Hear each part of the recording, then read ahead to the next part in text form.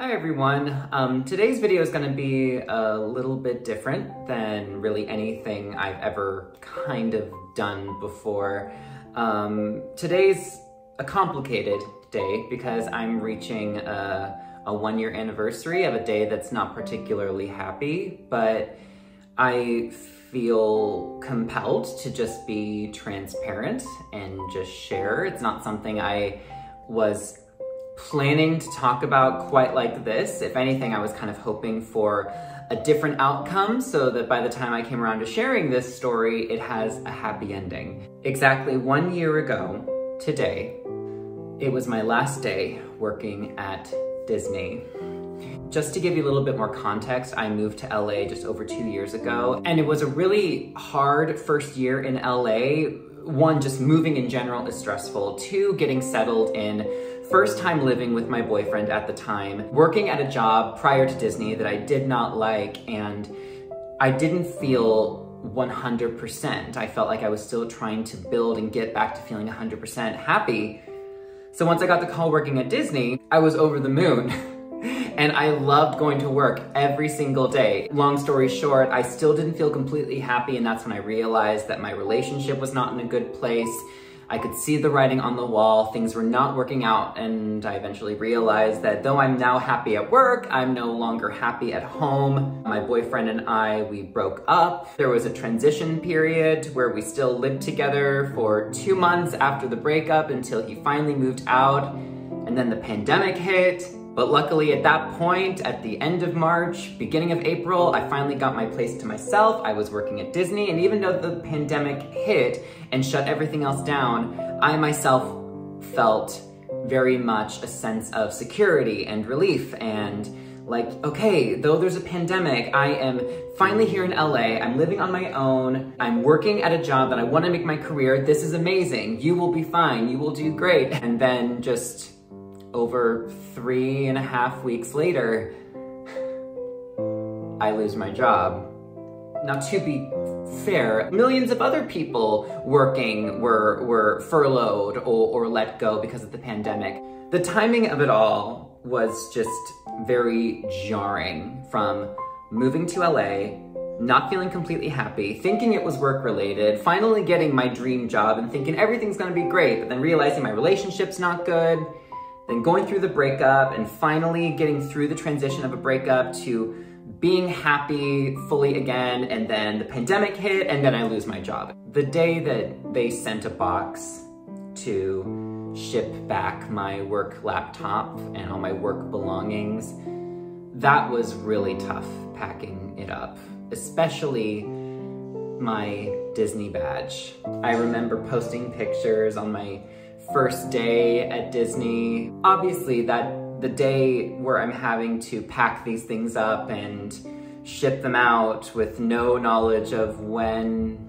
if I'll ever see them again was very, very painful, very, very emotional. Almost every sense of security that I had for my own life here was taken away and I did not want to share this publicly. Everyone close to me knew what was going on, but for um, other people who maybe inquired, I would just say that I was furloughed and kind of in an in-between waiting period.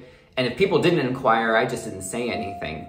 And then the rest of 2020 just went in waves. As so many of us know, it was a wave of not knowing when it was gonna end, rising COVID cases and people on unemployment only escalating and not changing, things remaining shuttered. One thing that ate at me and I never ever talked about with anyone was when you're with friends who weren't impacted by the pandemic, at least job wise. Um, they were still working. And I'm so uh, grateful and and so proud of so many of my friends who were able to continue working during that time and they weren't impacted the same way I was.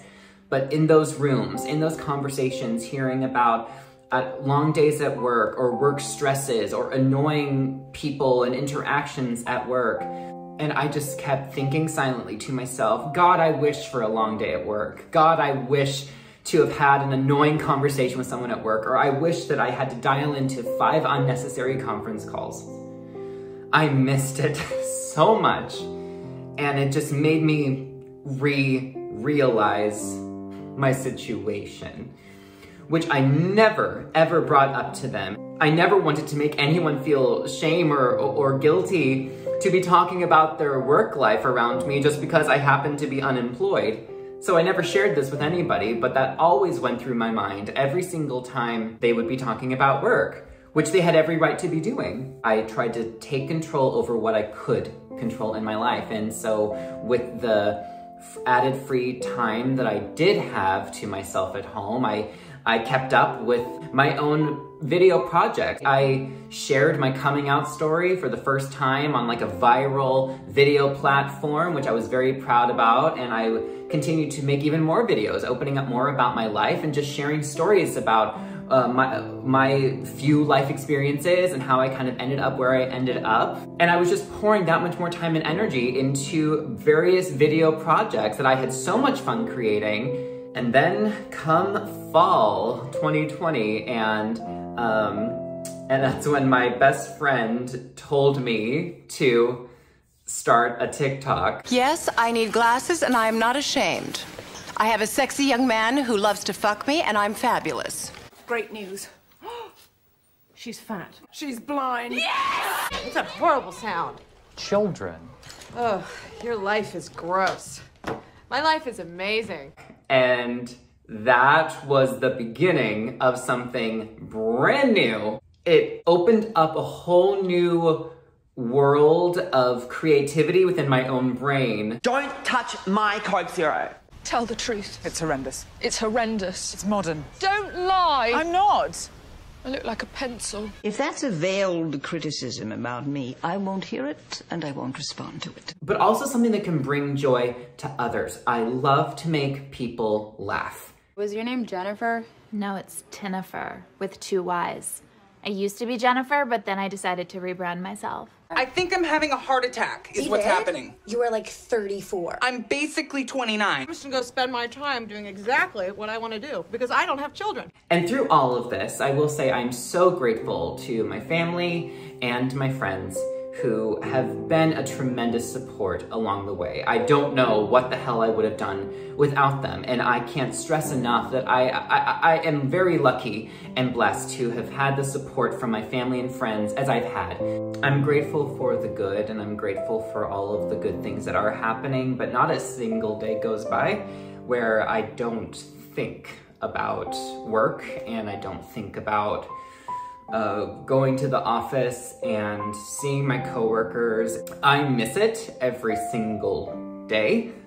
I still feel a sense of embarrassment or self-consciousness, specifically in like meeting new people, not wanting to go into the, you know, the what do you do for a living? And I you know, have, have to give an answer to that. It's still been very hard to talk about and, and figure out a way to spin it to where it doesn't make me feel shameful, embarrassed, or awkward about it. And so I've just glazed over it or not even brought it up. But like all of this year, it's still up in the air. I feel like I am being held back. I feel like I am behind in where I want to be within my own life. I have goals for myself. I set expectations for myself. Those are the feelings and thoughts that go through my head all the time.